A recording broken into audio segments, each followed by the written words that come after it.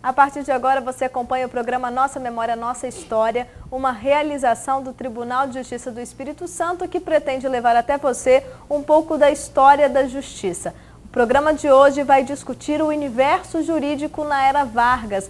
E ao meu lado, ele que é doutor em História Política Brasileira pela USP e professor do Departamento de História da UFES, professor Carlos Vinícius Costa de Mendonça. Professor, seja muito bem-vindo ao programa. Muito obrigado. E para começar, o senhor estava me dizendo que os ideólogos da era Vargas eram juristas. Eu queria que o senhor explicasse um pouquinho melhor. Olha, Ravânia, eu fiz duas teses na Universidade de São Paulo sobre o pensamento político brasileiro.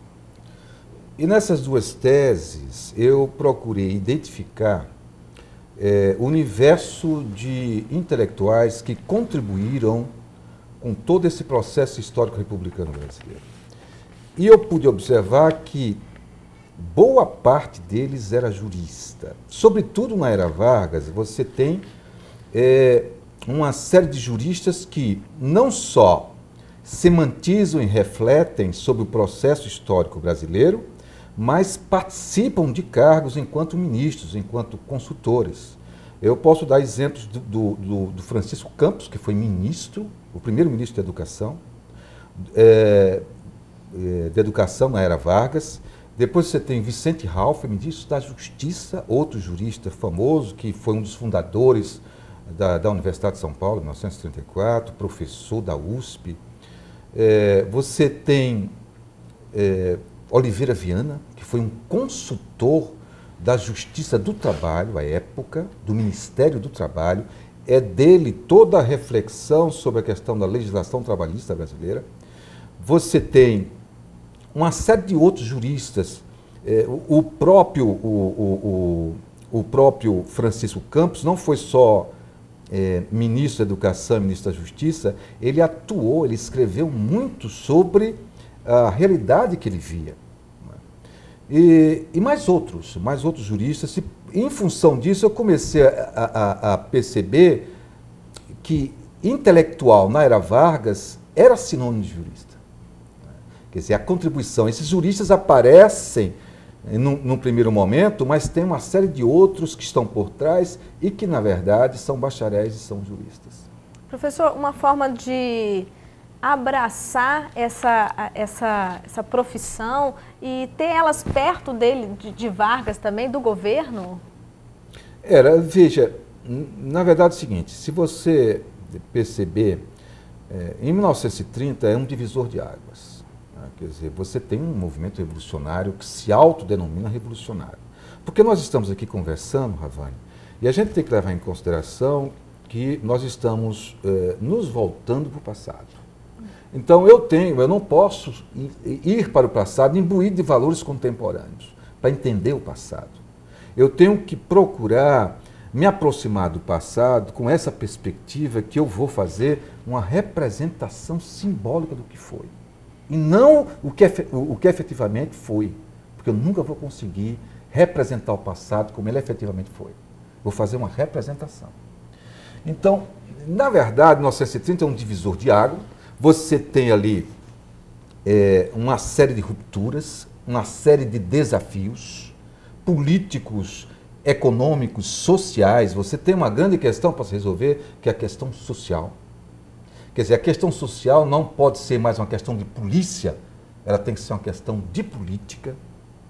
Isso significa você intervir no conflito entre o capital e o trabalho. E nesse sentido, era necessário que o poder tivesse o concurso de juristas, que são homens, na verdade, é, conhecedores das leis é, e que têm erudição e que tem uma capacidade muito grande de perceber os signos simbólicos do processo histórico e da alma brasileira. Então, foi em função disso que eu percebi uma série de juristas no período Vargas, sobretudo no Estado Novo, entre 37 e 45. Então, eu vou te dar só uma, uma ideia. Você tem um jurista por nome Almir de Andrade. Quase a gente não ouve falar de Almir de Andrade. A gente ouve falar na era Vargas do próprio Vargas, a gente ouve falar de Filinto Miller, a gente ouve falar da ditadura, da repressão. Isso a gente ouve falar demais. Quando se fala em Vargas, se fala em ditadura.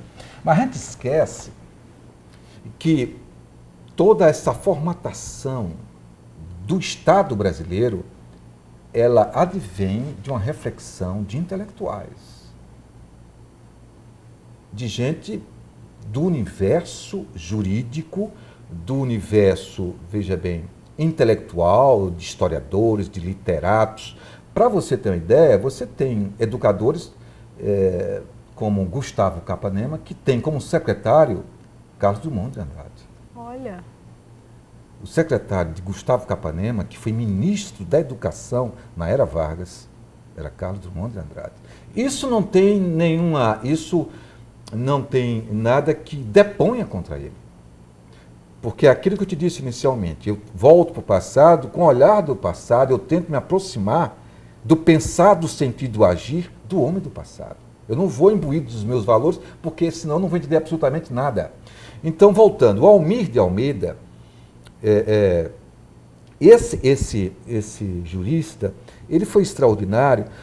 O que é que ele fez? Ele, ele coordenou e dirigiu uma revista, é, é, Cultura Política ele foi o encarregado de fazer toda uma doutrinação no governo Vargas.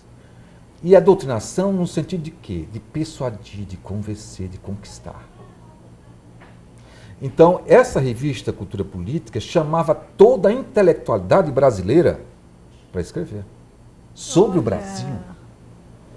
Ora, hoje, se você observar, nós temos uma revolução tecnológica, não dá para perceber a importância disso. Mas naquela época foi uma importância fundamental.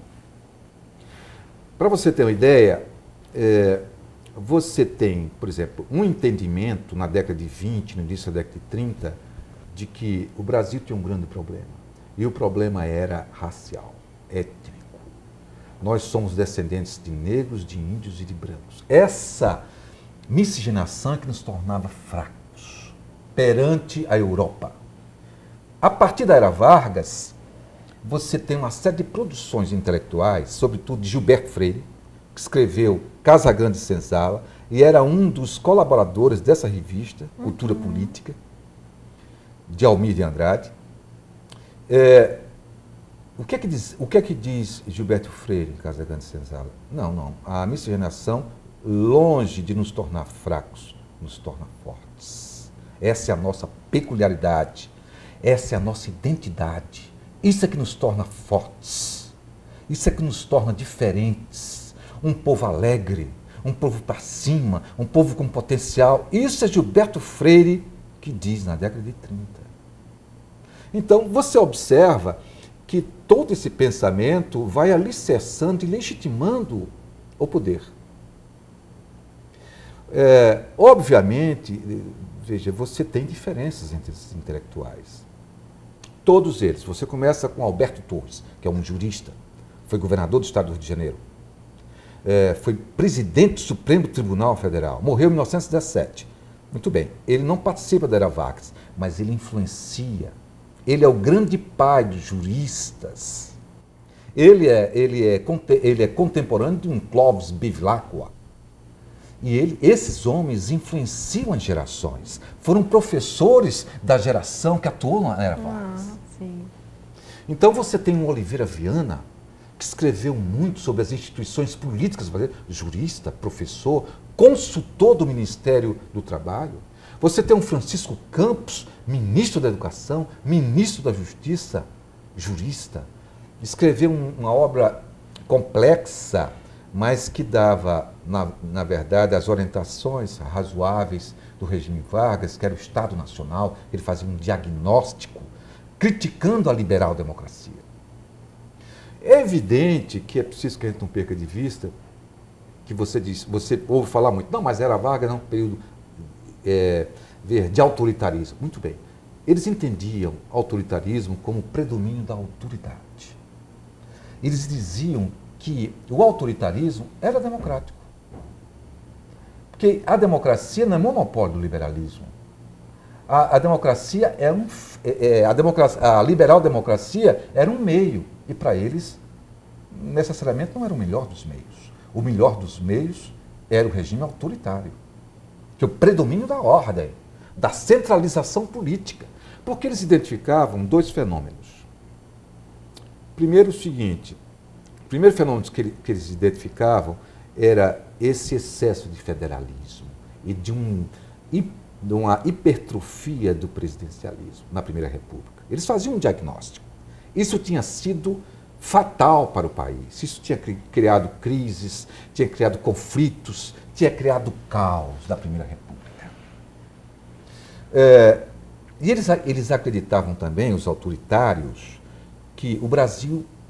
Eles faziam um diagnóstico, diziam o seguinte: olha, o Brasil, o, o quadro do Brasil é que a esmagadora maioria da população é ignorante e despreparada.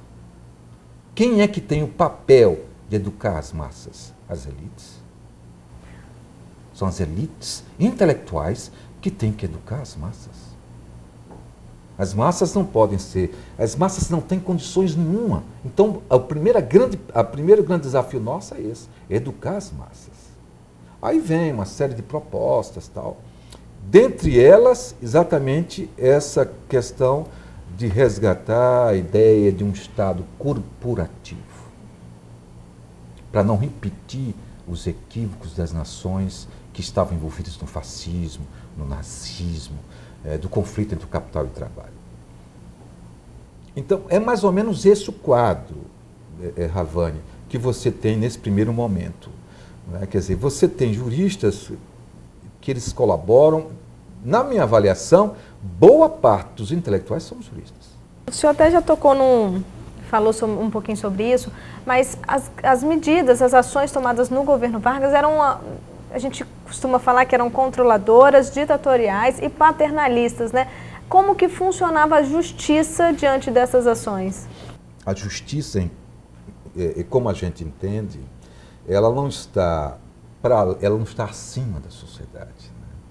É, os operadores do direito, os juízes, os juristas, eles são, veja bem, homens que de alguma forma estão é, em, toda essa forma, é, em toda essa formatação do Estado. Ora, como é que a justiça atuava? A sua pergunta deixa implícito o seguinte: qual é é, a capacidade de autonomia do Poder Judiciário na era Vargas? Essa é a sua pergunta, que é muito interessante. Eu diria o seguinte: é, havia um concurso de finalidades ali, havia uma convergência de interesses. Pelos, pelas minhas análises, pelas meus, uh, uh, uh, minhas, minhas reflexões, eu pude observar, eu vou dar o exemplo de Vicente Raul, foi ministro da Justiça um jurista fantástico, um civilista da melhor ordem, de São Paulo. É, professor da Universidade de São Paulo, professor de Direito Civil da Universidade de São Paulo e ocupou o Ministério da Justiça. Ora, o que é o Ministério da Justiça? É o ministério que cuida do conflito, sobretudo, entre o capital e o trabalho. É o ministério que cuida, nesse momento, dos crimes políticos a justiça, nesse momento, está preocupada com os crimes políticos, haja vista que nós estávamos num contexto histórico belicoso, de muito conflito. Você tinha o fascismo na Itália, você tinha o nazismo na Alemanha, você tinha uma, uma radicalidade muito grande em Portugal, na Espanha, a Revolução Constitucional, a Revolução, é, é, é, veja bem, lá na Espanha, a Revolução que tem, tem Franco na liderança lá, no sentido da repressão. Então você tem um Estado franquista, fascista, você tem em Portugal, você tem na Itália, na Alemanha. Então toda essa influência está se espalhando pelo mundo. Então você tem uma justiça brasileira que está perplexa também com a questão social, com a questão política, a nível eh, interno e olhando para as influências do mundo externo. Então, nesse momento, as questões eh, mais ordinárias, digamos assim, do Poder Judiciário estão numa agenda secundária. A agenda prioritária é a questão dos crimes políticos. Vicente Hall, ele é um dos que elabora com sua equipe a Lei de Segurança Nacional. depois da intentona comunista de 35, Sim. principalmente, é que a questão, veja bem, jurídica, ela se torna dura para esses crimes. Então você tem o estado de guerra, você tem, veja bem, uma série de medidas repressivas, a, a criação do Tribunal de Segurança Nacional, nesse momento, para julgar os crimes políticos. Prestes é preso em, 30, em 36, ele Olga Prestes. E aqui já desmistificando, é, eu, eu assisti aquele filme Olga, né? eu achei um filme interessante e tal. Mas a gente observa que, obviamente, o filme é uma ficção. Sim. Eu estou é, tendo um olhar de historiador e observo o seguinte, toda uma manifestação tal, para não, não mandá-la para a Alemanha. Mas nesse momento você observa que o Brasil mantém relações diplomáticas e bélicas do ponto de vista amistoso com a Alemanha. Então, Ioga, ela é uma, veja bem, uma guerrilheira do ponto de vista urbano e, e é, veja, a Alemanha solicita que mandem. Ela foi acusada, é, é considerada criminosa na Alemanha. Ela vai grávida e as pessoas é, é, sugerem que, na verdade, houve quem é que consegue, de alguma forma, salvar a filha dela? Essa elite. A elite brasileira.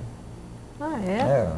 Que interfere, que intervém, para que a filha não tenha o mesmo, não seja, não tenha o mesmo destino da mãe. É, há toda uma colaboração da elite brasileira. Essa elite que a gente está discutindo aqui. Que tem amizades, que tem né, contatos e consegue é, fazer esse tipo de coisa. Obviamente, eu estou colocando só a nível de.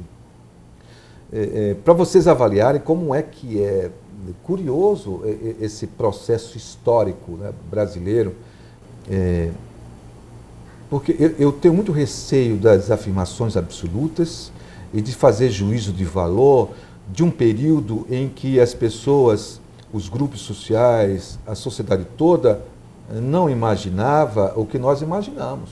Então a gente tem que fazer esse, esse, esse, essa viagem de imaginar o que foi imaginado. É essa a minha leitura. Professor, está muito interessante, mas a gente tem que ir para um rápido intervalo.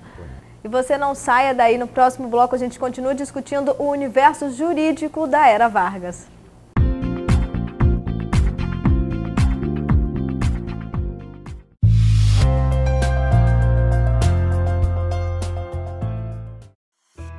Tribunal de Justiça está 24 horas por dia de portas abertas à população.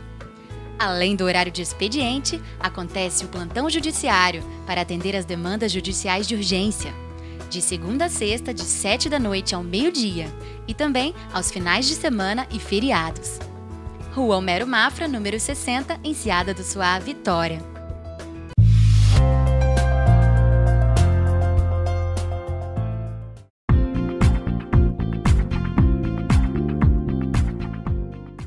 Voltamos de um rápido intervalo e o que a gente está discutindo aqui hoje é o universo jurídico da Era Vargas. Quem explica tudo é o doutor em pensamento político brasileiro pela USP e professor do Departamento de História da UFES, professor Carlos Vinícius Costa de Mendonça. Professor, a gente terminou o bloco anterior e o senhor estava explicando um pouquinho do que, que de como aconteceu o filme Olga, tudo bem que era uma ficção, né, mas aquilo tudo não a gente não pode tomar como. É, como o quê, professor? Realidade não é, porque já é ficção? Não, eu, eu acho que. Eu, eu, lembro de uma, de, uma, de uma resposta de Guimarães Rosa, João Guimarães Rosa, sobre essa questão de realidade e ficção. Ficaram uma vez os jornalistas pressionando ele, é, no sentido dele dizer se o que ele tinha escrito em Grande Sertão era verdade. Porque ele tinha traduzido de forma assim tão fidedigna os costumes, as tradições mineiras. Ele disse: é tudo verdade porque é tudo invenção. Então, é, é, é, muito curioso que a gente não perca de vista que, obviamente, a ficção tem muito de realidade. É evidente que, veja bem, a figura de Prestes é uma figura emblemática, referencial. E da própria Olga, de uma mulher corajosa, que teve a coragem, na verdade, de vir com o marido para cá e tentar organizar um movimento que foi desorganizado, obviamente, que não havia condições de uma revolução comunista no Brasil. É, foi feito, é, houve três momentos. A intentona comunista foi no Recife, Natal e no Rio de Janeiro, em quartéis. Foram mais quarteladas, quer dizer, Prestes não estava bem informado da realidade nacional. Alguns historiadores até aventam a possibilidade que a intentona foi planejada por Vargas para dar o golpe de 37, mas isso aí é só uma, uma, uma pressuposição.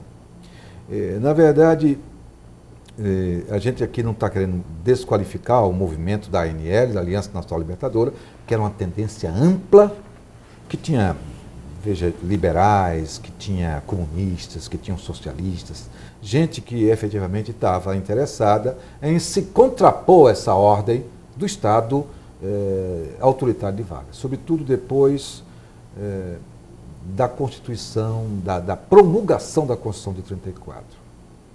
E nessa promulgação da Constituição de 34, você tem uma coisa curiosa. Você observa que o Brasil não tem mais governador de Estado. De 30 a 34, você não tem governador de Estado, você tem interventores. E os interventores são eles que organizam, é, veja, os seus estados, do ponto de vista da administração. Isso não significa que não haja uma representatividade. Você tem um poder judiciário a nível estadual, um tribunal, que dirime os pleitos individuais e coletivos lá.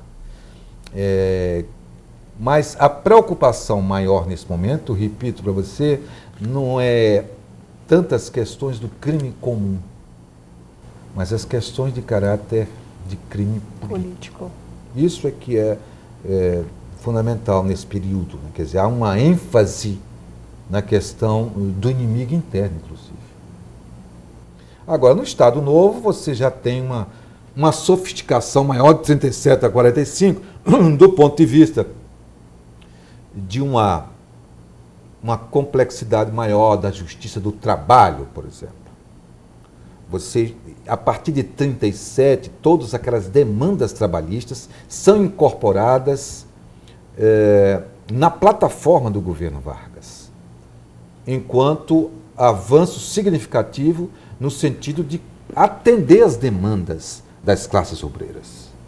E aí você tem uma participação maior, veja bem, da justiça do trabalho, dos tribunais dos trabalhos e tal, é, exatamente para estar alicerçando essa preocupação com as classes trabalhadoras.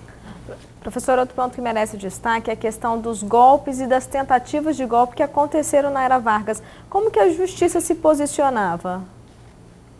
Primeiro o seguinte, é preciso que se entenda que você tem.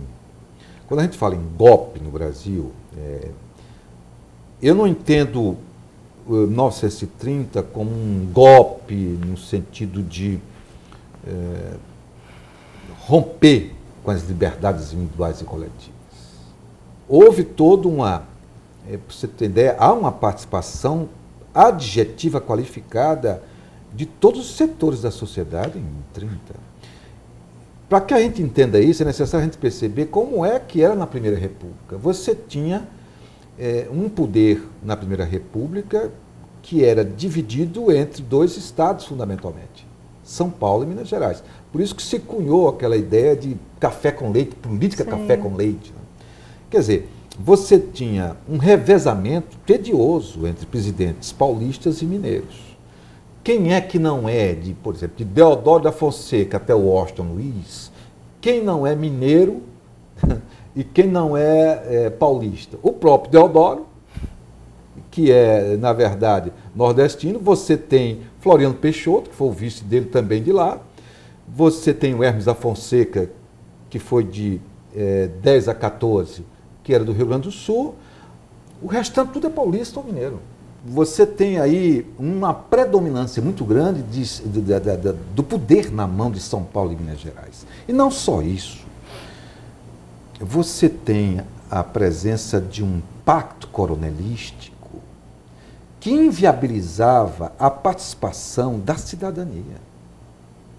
É, tu pode de vista que em 30 anos você não consegue construir uma cidadania. Lembre-se que a abolição da escravidão no Brasil foi em 1888. 30 anos é muito pouco tempo para você tornar dois terços da população brasileira cidadã. Sim. E nesse momento você tem uma república oligárquica que tem essa multidão de homens e mulheres menos favorecidos que é necessário dar uma resposta. Quem dá essa resposta?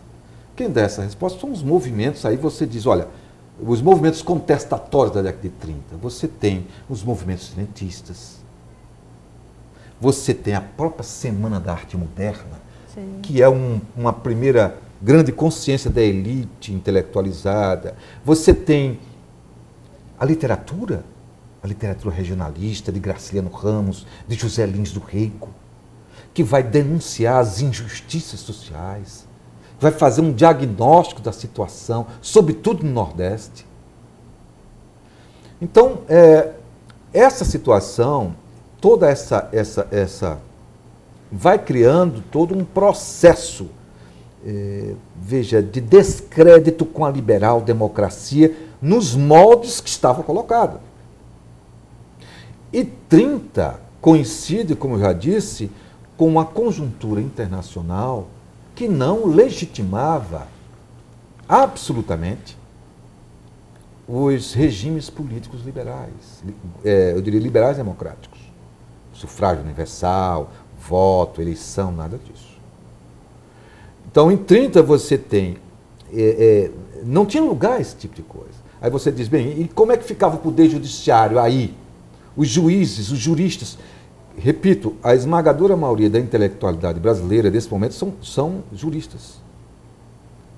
E que têm um, acredito que têm um compromisso ético com a política. Escrevem, são constitucionalistas são homens ligados ao direito público, são civilistas, são homens que trabalham com a teoria do direito. Somos indignados e desencantados com toda essa Primeira República, Sim. com toda a influência da Primeira Guerra Mundial, que foi danosa por pensar, sentir e agir, com medo da sovietização do Brasil, do comunismo considerado para a esmagadora maioria da elite política pensante brasileira como inadequado para as, para as, veja bem, para as características, para as tradições brasileiras. E o que, que faz esses intelectuais, juristas?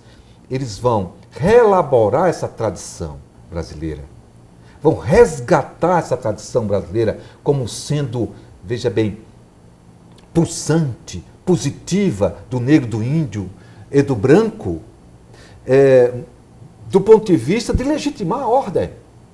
O que se queria nesse momento era isso: era você ter um governo forte, que fosse imune a esse tipo de tramóia da Primeira República, dos concentradores de renda e propriedades, que absolutamente não estava ligando para as classes laboriosas Quer dizer, tinha que se dar uma resposta para a questão social.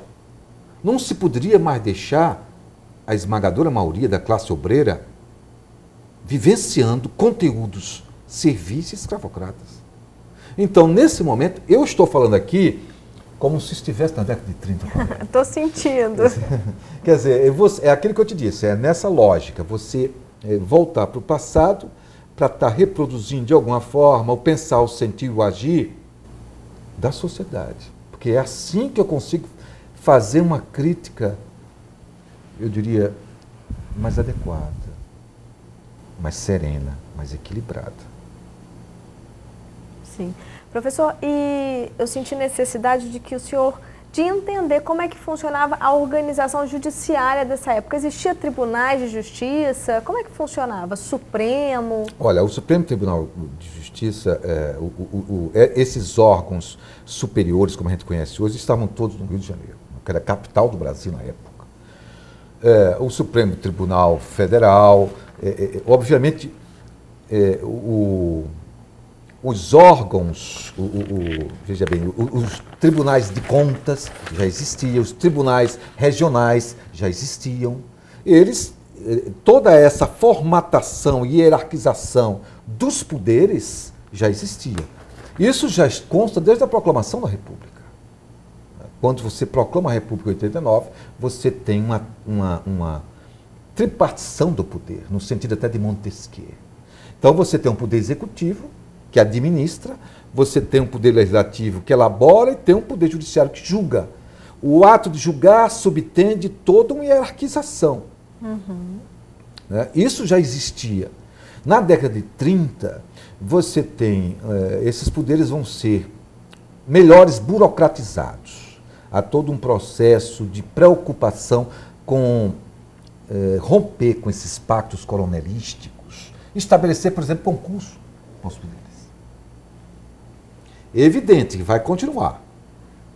Ainda hoje a gente vivencia esse tipo de coisa, mas na época foi um avanço muito grande. Por exemplo, eh, a institucionalização da CLT, da consolidação das leis trabalhistas, que é um primeiro documento jurídico-político que estabelece as relações entre patrões e empregados. Não existia.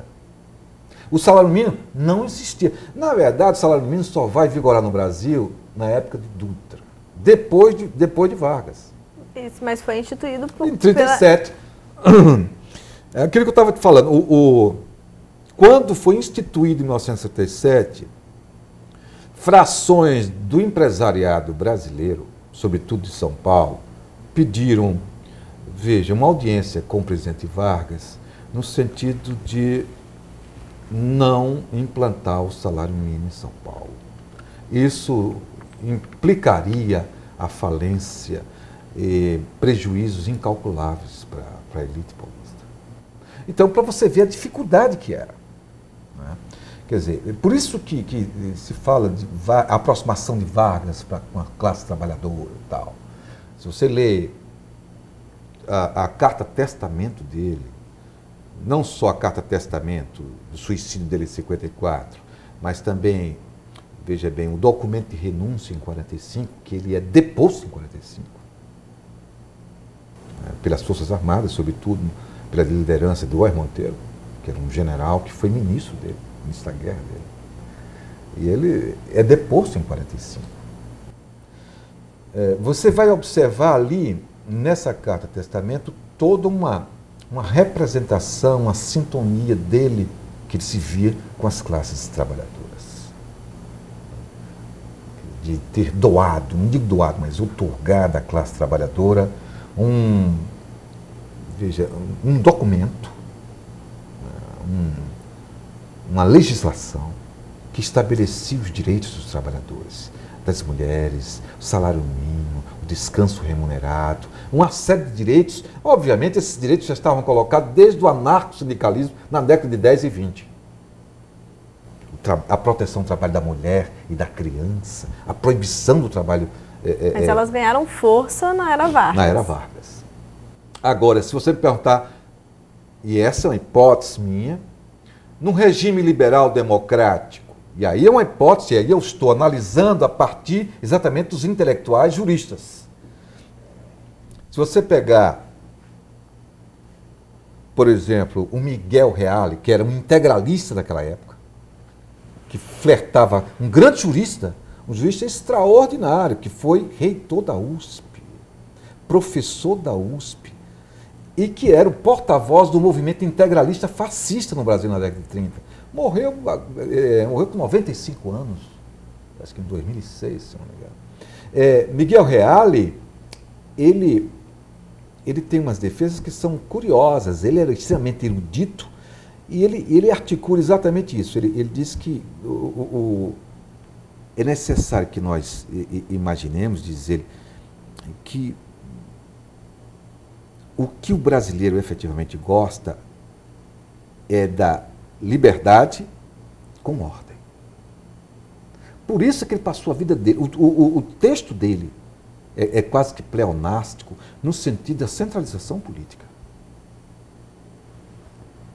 No sentido de criticar os excessos do federalismo.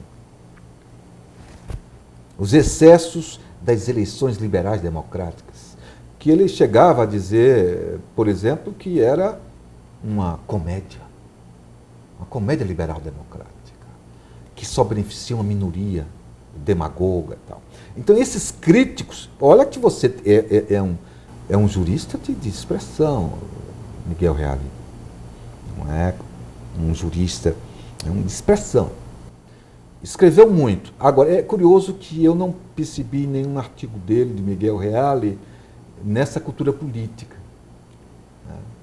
É, eu, não, eu não percebi nenhum artigo dele. Dos outros, sim. A esmagadora maioria dos juristas mais, mais moderados, mais equilibrados no sentido político, porque Miguel Reale ele assume um radicalismo de direita, né, que você tem essas duas tendências e o integralismo é efetivamente um, uma tendência de direita no Brasil nesse momento.